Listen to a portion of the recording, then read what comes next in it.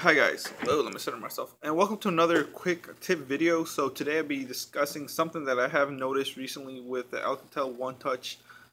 Like I said, this phone is just plagued with a lot of lot of issues, but you know right now at Boost Mobile, at Boost Mobile stores, um, the phone costs 100 but if you start a new line or you're eligible for an upgrade, it's only 19.99. Or if you switch over your number from different carrier, it'll be free. Which I wouldn't suggest you using up your um, your porting credit for that. So here's the price right here.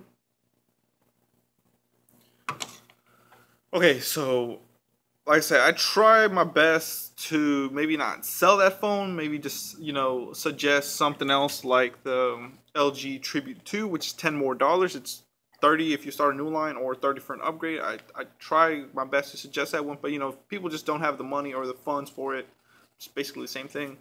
Um, you know they will go with a twenty dollar phone because we have flip phones that are twenty dollars. Might as well at least get a uh, smartphone for that. So to the subject of this video.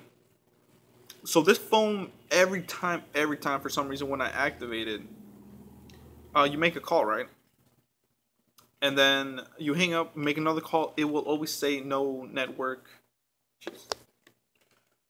Hi, sorry about that. Had to help a couple customers. But um, apart from that, like I said, is um, when you're activating, everything activates fine.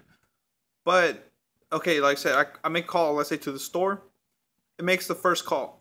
You hang up, try to do it again. It will say mobile network not available or something like that. I don't remember exactly what it says, but something like that. No mobile network available. And um, it is super annoying. Um, and, you know, I'm thinking like, wow, what am I gonna do? You know, this customer's gonna try to make a call, and it's not gonna work. And you know, I was trying to think everything I could have done. Like I took out the battery and everything, nothing was working. Started restarting it, and uh, nothing, nothing was working. So finally, I decided um, to do this, which is the thing that fixed it.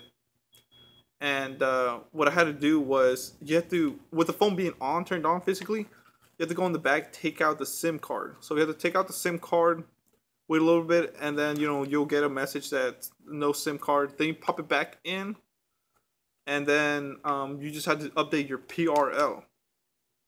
Sometimes you have to do it. I've I've had both where sometimes you have to, sometimes you don't.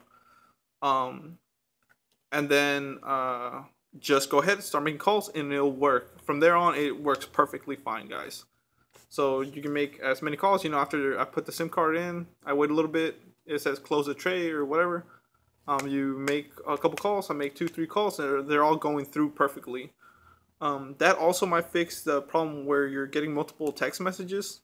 Um, but definitely uh, removing the SIM card and putting it back in will fix um, that no mobile network available or something where it won't let you make calls after. Um, so hopefully this helped you guys. If you have this phone, looking to get an upgrade, honestly. If not, like I said, that's why I make this video, to help you out, and hopefully it helps you out. Please comment, rate, and subscribe, guys. You guys are awesome.